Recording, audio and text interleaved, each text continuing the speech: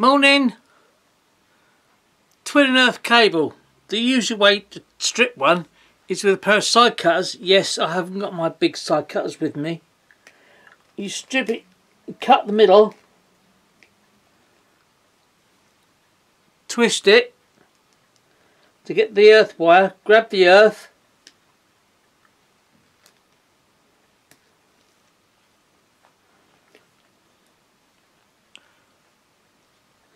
and pull.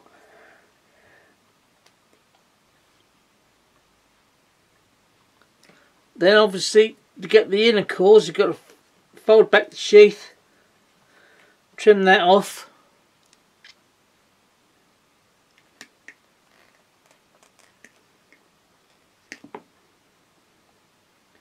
Then the actual cores themselves.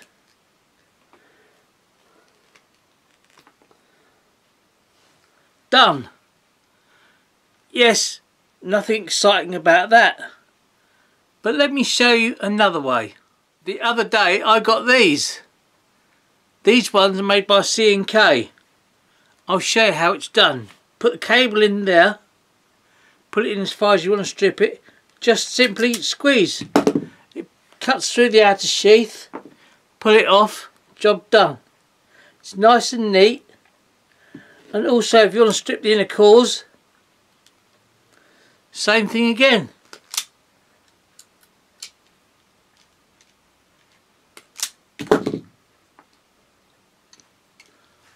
Done. Much easier. There's also a cable cutter on these.